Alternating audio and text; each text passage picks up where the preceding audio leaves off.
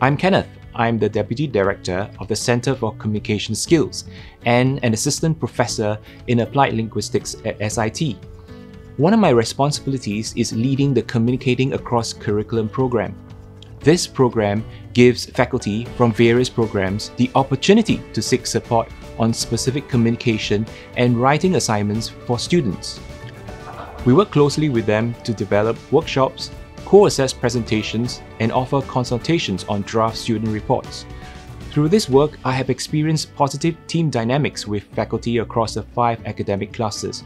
For example, recently, in a collaboration with the engineering cluster, I coordinated technical writing workshops and a poster presentation clinic. Students developed solutions for identified workplace issues from their work attachments and prepared to present them as poster presentations. We then co-assess their poster presentations together with program faculty, professional officers, career coaches, and industry partners.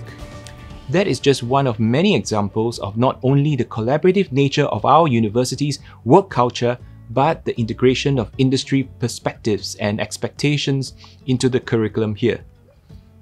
I made the switch to join SIT for several reasons. Besides recognizing that SIT offers me excellent career progression opportunities, I was drawn to SIT's mission as Singapore's University of Applied Learning to produce industry-ready graduates and ensure our students leave with bright job prospects. Here we focus on enhancing student learning by keeping the curriculum updated based on industry feedback and pedagogical research.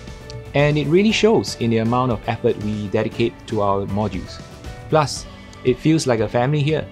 We have opportunities to meet the president and provost, formally and informally, as well as interact with other colleagues. We are a small team, lean but effective, and we work very well together, always open to sharing good teaching practices. I have a sense that this culture of opening doors to people comes from that singular pursuit of enriching our students' lives. SIT is not a typical university. It is not just focused on qualifications and publications.